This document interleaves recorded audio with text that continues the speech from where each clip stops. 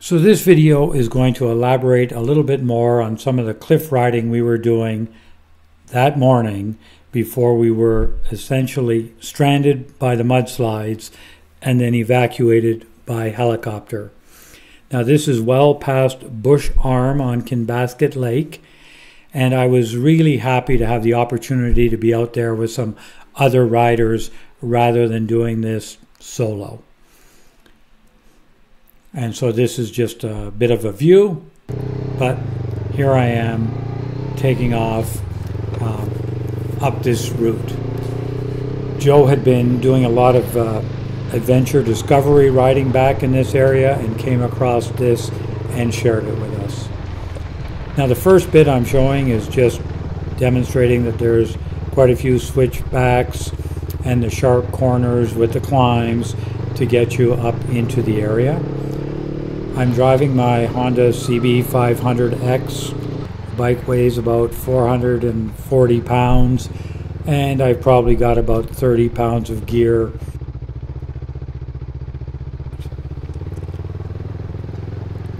So just uh, winding the way up here, and it's just a gorgeous morning. Now it had rained all all night, and that's why it's still a little bit misty. You'll see. But this road has really absorbed the moisture well. So it wasn't necessarily slippery, at least not here.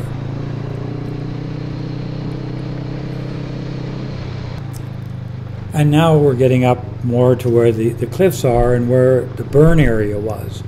And of course, with the burn area and the, uh, the trees no longer absorbing much water and a lot of the vegetation gone, it changes the stability of the slopes. And up ahead, you'll start to see um, some of the rocks that were accumulated on the trail, probably since the fire. again pointed out that uh, one waterfall, but there are lots of waterfalls all throughout this entire area.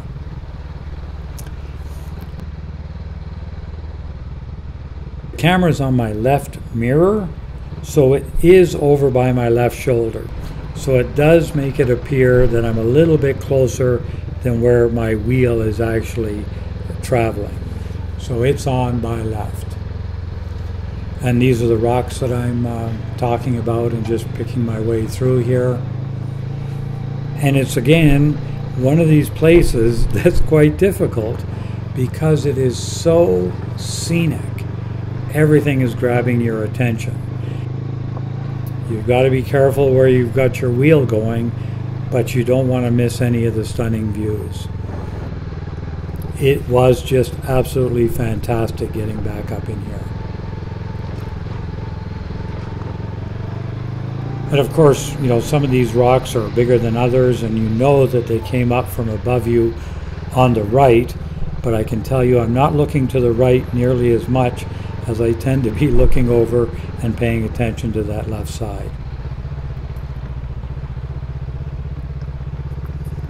And the other thing about this route is Adventure Joe had told me there's one difficult section, it's short, and this is it coming up here.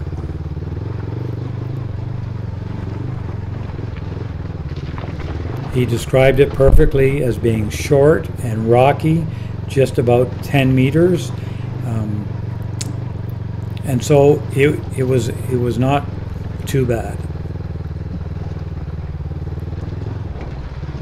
And then I got up to about here and um, thought, you know what, I might do a little bit here to get through this stuff.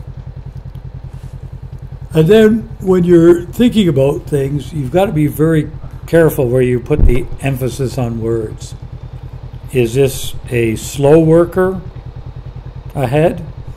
Is this a worker working slowly? But it's more like a slow worker.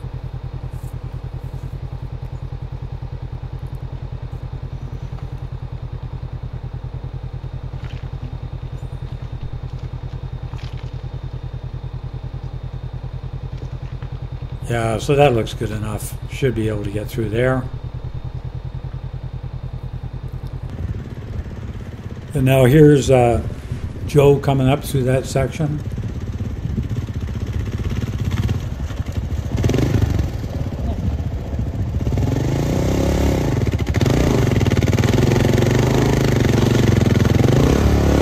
Just a little bounce and traction, and off we go.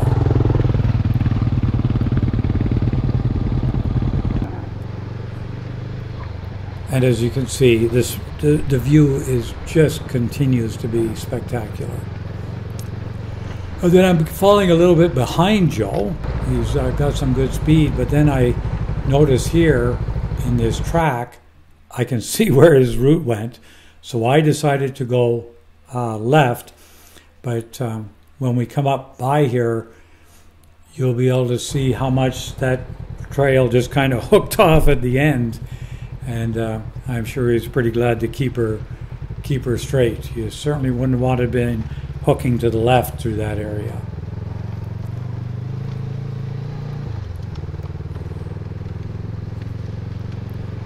And then we're continue to climb up this road.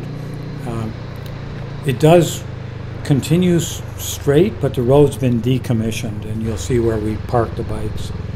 Another example of a big rock that must have come down from somewhere.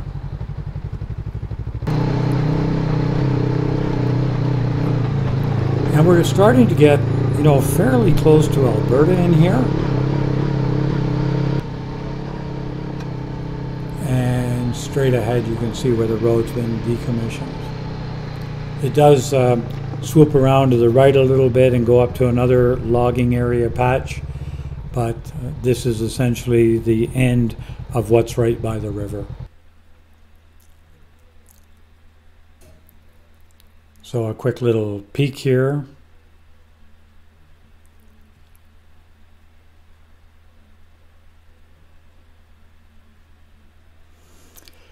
And then we'll um, we'll head down, just because now heading down, it's got a different view and it opens up quite a bit.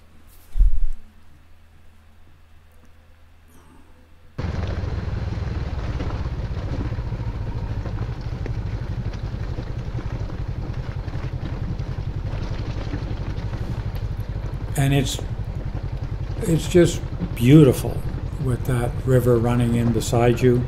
You know, first thing in the morning is probably eight o'clock or something. Um, this actually shows that it is fairly steep through here, which you don't often get with a camera.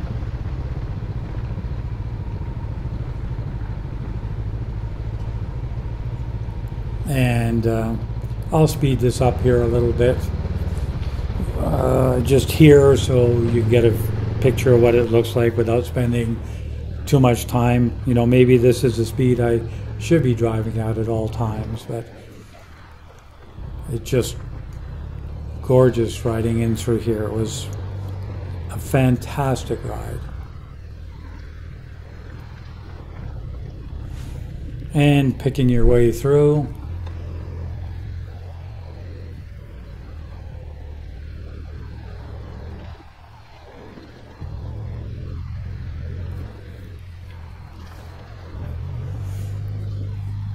This was the area I cleaned a few of the rocks out of the way. And now we're coming up to that uh, one little rocky section. I'd scoped it out pretty well on the way up, thinking when I come down, I'm going left, I'm going left.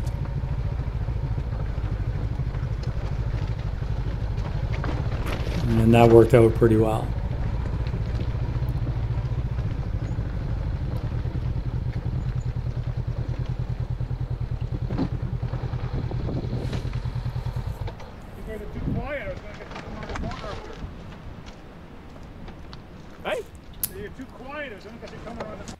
Okay, time to get at her and continue partway down.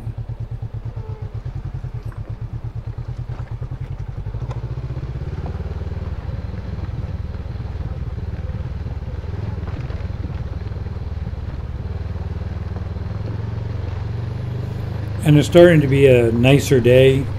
Some of the fog is starting to burn off a little bit. You can see the road up ahead in the distance.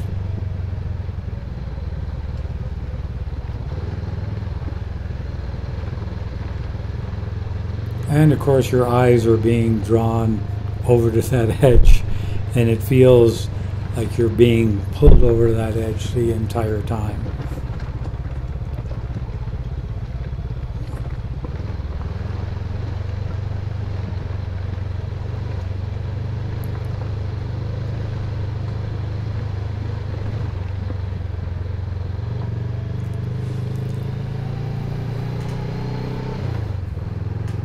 Yeah, I was just I was just tickled to be riding on this, especially to have two other riders with me.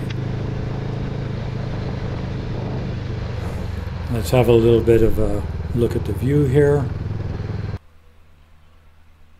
Just terrific. And working our way down just a little bit more. Again, some of the burn area here as it opens up into the valley.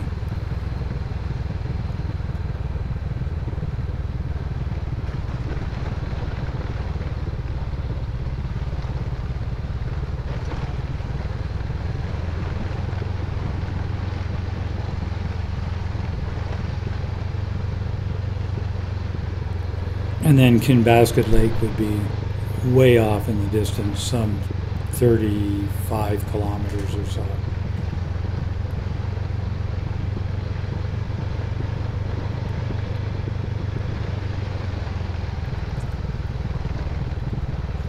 And then this is Joe just pulling up to where our campsite was.